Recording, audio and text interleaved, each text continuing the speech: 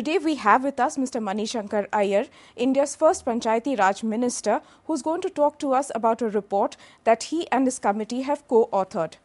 Mr. Aiyar, uh, welcome to the show. Uh, sir, it's been 20 years since we've had uh, Panchayati Raj. How do you look at in you know this journey? Would you say the ha- the glass is half full or half empty? What is your assessment of India's experiment with the Panchayati Raj? I wouldn't like to characterize it in terms of half full or half empty, but rather to say that all the mandatory requirements of the Constitution in respect of Panchayat Raj have been fulfilled. Mm-hmm. And it is a miracle that is so little understood or recognized in our country that we have about two and a half lakh elected local government institutions. Mm-hmm. To these, we have elected as many as 32 lakh representatives. Mm-hmm. And of these 32 lakh representatives, about 12 to 14 lakh are women. Mm-hmm. There are more elected women in India alone than in the rest of the world put together. And we've also made provision for not only um, the election to reserved seats of scheduled castes, scheduled tribes, and the OBCs, but also that in the um, in the posts there are reservations for them, and within those reservations, 33% of the seats are reserved for women belonging to these communities. So, in terms of deepening our democracy, it's an absolutely miraculous success. But the reason why I think it's so little recognized is that there has been so little genuine empowerment of these institutions in terms of their functions, in terms of their finances, and in terms of their functionaries, that there there's a long, long way to go. One of the one of the things that the critics keeps talking about is the lack of political will um, you know, when parties come to power, they do not do enough to uh, empower the Panchayati Raj institutions to do their job. Whereas when they are in the opposition, you know, they talk about empowerment. If there hadn't been political will, Mm. do you think two and a half lakh institutions of local self government with frequent elections and also the various other mandatory provisions like the state finance commissions, the state election commissions, etc., would have come into existence? Clearly, there was a political will to have Panchayat Raj. But has there really been a lack of political will to undertake the tasks of devolution? My answer is no. There's not been a lack of political will. It's simply that nobody seems to have understood how exactly the devolution process works. In other words, we were attempted to show that there's no contradiction between a continuing role for the center and the state in respect of these institutions when they bring in the Panchayat Raj institutions. And so we hope that we will be able to create an atmosphere in which a partnership is established between the center, the state, and the local bodies, uh, which will enable us to more efficiently deliver these public goods and services. For it is clear that the present system of delivery of public goods and services has almost collapsed. You mentioned this partnership, uh, but the way the you know the whole system is structured, you know, it, it you have the district um, magistrate or the district uh, collector who's actually the inspector of of the panchayat, of the panchayati raj system. So, I mean, isn't it flawed in a way? I don't think any country in the world has the complexity of devolution that India has. Partly this is because of our size, partly it's because of our population, but much more because we are one of the few democratic countries in the world, one of the few democratic developing countries in the world. And therefore, the technology or the methodology for devolution had not really been thought out earlier. It was assumed that if you decree devolution, then devolution will take place. And I would be happy to have the district magistrates keeping a benevolent eye on devolution because things can go wrong and it is their duty to see that if things go wrong, then they should be set right. But the actual exercise of effective power must be by elected representatives, for they alone are responsible to the electorate that took them. The fact is that with more than 8% growth in the 11th plan, the rate of poverty alleviation has been only 1.5%. So, on the income front, our model of growth is going to inevitably result in widening disparities of income and wealth. And to compensate for that, we have to provide public goods and services efficiently. And we now see that the bureaucratic system or the bureaucracy plus NGO system that has been evolved is unable to do that. And therefore, we need to go back to the vision of Mahatma Gandhi, the vision of Jawaharlal Nehru, the vision of Rajiv Gandhi, and the vision set out by Prime Minister Dr. Manmohan Singh. You know, we a lot of our uh, my colleagues, you know, have been traveling to different parts of the country to assess, uh, you know, the the status or the health of the Panchayati Raj institutions, how the devolution has happened or not. I met the district collector of Madurai, and I did put this question across to him as to. Um, you know, him being the inspector of the Panchayati uh, uh, of the Panchayat, how does he, I mean, how does he make sure that his job doesn't interfere with that of the Panchayat?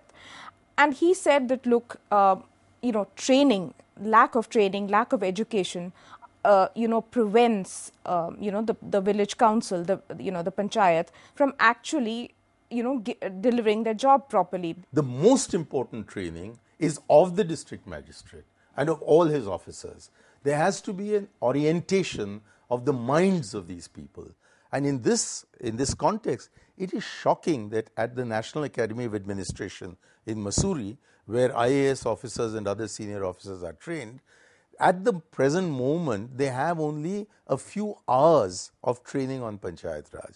Fortunately, that is changing, and we are going to have a much more serious course on that. But it's taken 20 years for the National Academy of Administration to discover that the real training and capacity building is of our functionaries and only then do the elected representatives come in. Now, when we don't have any training for MPs and MLAs, why do you suddenly say that the most that these people lack the capacity? The fact is that they are political representatives and as such they are represent they are responsible to the electorate that elects them and they will continue or not continue depending upon the will of the people but in performing their functions, first they need to be told clearly what are your functions so that on the job training takes place by their fulfilling those functions. If you don't give them the functions, how are they going to be trained? Equally, if the finances are retained by the bureaucracy, then where do they have the wherewithal with which to undertake these functions?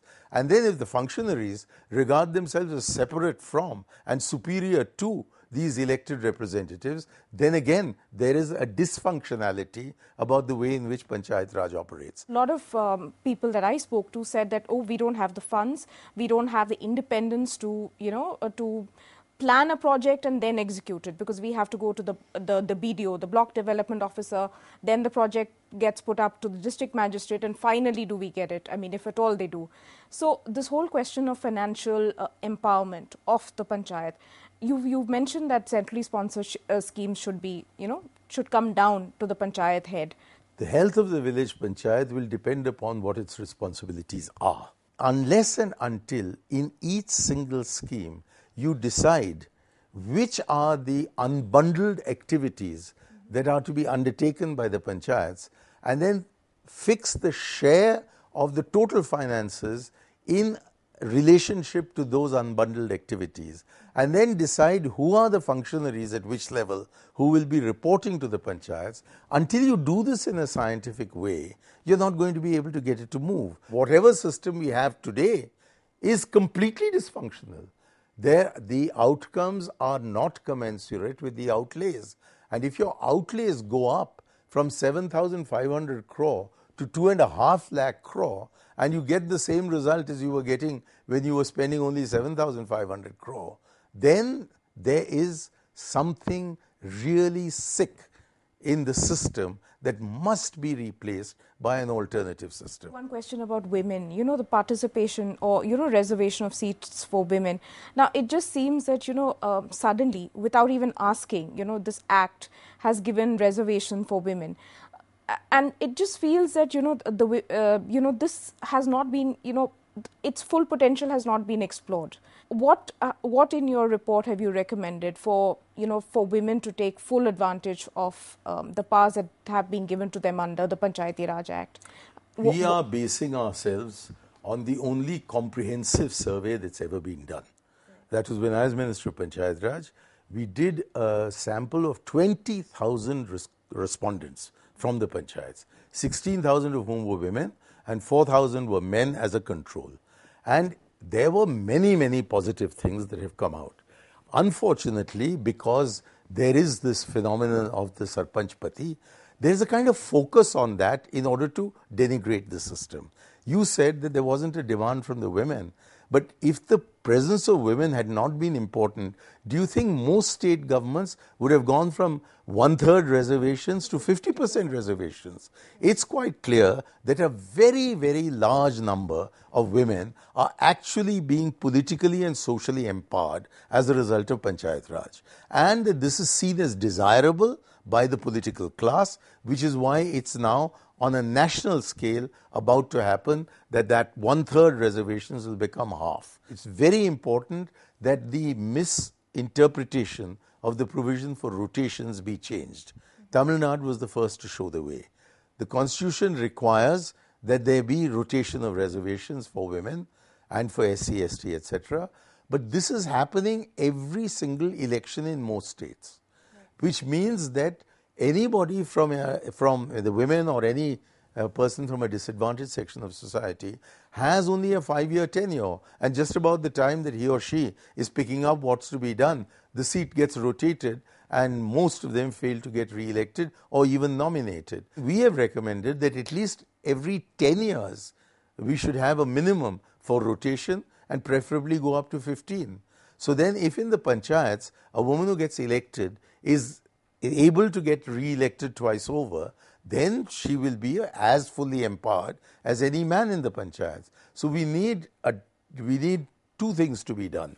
On the one hand, the effective empowerment of the panchayats in terms of functions, finances, and functionaries. And on the other hand, a change of the rotation system to allowing women who get elected to at least remain for two terms, that means 10 years, and preferably for three terms, which would mean 15 years. And that would greatly alter the whole, the whole profile of women in panchayats. Thank you very much for being on this show. Thank you so Thank much. you very much for having me. That's all we have for you today. Thanks for watching. Please stay tuned for more.